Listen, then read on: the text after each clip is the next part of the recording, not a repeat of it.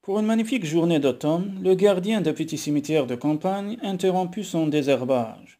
Une longue limousine blanche venait de s'arrêter devant la grille et un homme et une femme en descendaient.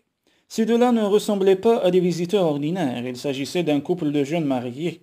La femme portait une robe blanche très simple, ornée de rubans aux couleurs de l'arc-en-ciel, son voile rejeté en arrière découvrait un visage radieux, encadré d'abondantes boucles blondes.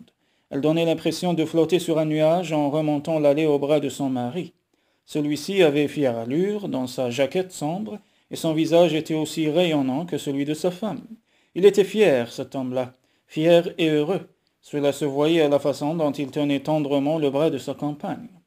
Mais sur quelle tombe se rendait ce couple étrange? Le vieux Joe secoua la tête. Quel idiot La tombe de Mickey, bien sûr. La femme était Lucy Sefton, ou plutôt Lucy McAllister, selon les dernières nouvelles. Elle s'était mariée le matin même.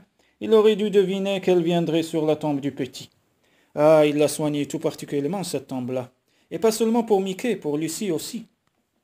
C'était une fille brave, courageuse, qui avait soutenu sa mère jusqu'au bout quand tout allait si mal.